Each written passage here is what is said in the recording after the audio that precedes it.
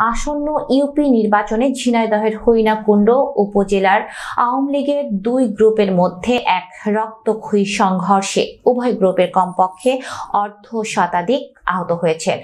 আহতদের মধ্যে ষোলো জনকে ঝিনাইদহ সদর হাসপাতালে ও ছাব্বিশ জনকে হইনাকুণ্ড উপজেলা স্বাস্থ্য কমপ্লেক্সে ভর্তি করা হয়েছে। বাকিরা প্রাথমিক চিকিৎসা নিয়েছে। রোববার সকালে উপজেলার রঘুনাথপুর ইউনিয়নের শ্রীফলতলা গ্রামের লস্কার পাড়ায় এ ঘটনা ঘটেছে। পুলিশ ও স্থানীয় সূত্রে জানা যায়, আগামী পাঁচ জানুয়ারি পঞ্চম ধাপের ইউপি নির্বাচনে রঘুনাথপুর ইউনিয়নের আট নম্বর ওয়ার্ডের শ্রীফলতলা গ্রামের সাইদুল ইসলাম মেম্বার ও রেজাউল ইসলাম মেম্বারের পদে প্রতিদ্বন্দ্বিতা করছেন। রেজাউল মেম্বার নৌকার প্রার্থী আব্দুল কাদের মাস্টারের সমর্থক ও সাইদুল মেম্বার প্রার্থী, স্বতন্ত্র প্রার্থী বসির উদ্দিনের সমর্থক।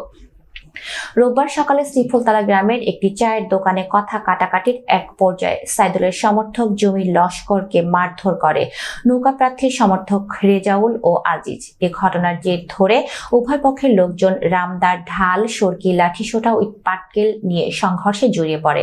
সংঘর্ষে গোটা গ্রাম রণক্ষেত্রে পরিণত হয়। এতে উভয় পক্ষের কমপক্ষে পঁয়তাল্লিশ জন আহত হন। আহতদের উদ্ধার করে ঝিনাইদহ সদর হাসপাতাল ও হইনাকুণ্ড উপজেলা স্বাস্থ্য কমপ্লেক্সে ভর্তি করা হয়েছে। এ ঘটনায় নৌকার প্রার্থী ও স্বতন্ত্র প্রার্থী পাল্টাপাল্টি অভিযোগ করেন।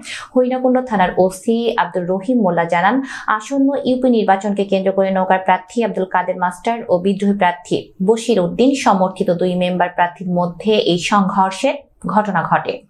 খবর পেয়ে পুলিশ পরিস্থিতি নিয়ন্ত্রণে আনে ও এলাকার পুলিশ টহল জোরদার করে।